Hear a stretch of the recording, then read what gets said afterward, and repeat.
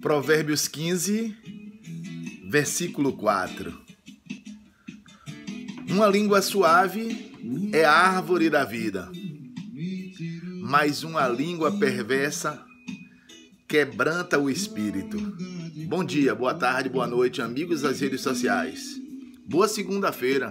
Excelente início de semana com Deus sempre no comando. É tudo de nós, forevermente é sim de verdade. Papai do céu, assim como tu nos protegeste no final de semana, assim como tu nos deste a vida e tem nos iluminado o caminho até aqui, continua conosco e que essa semana seja próspera e abençoada.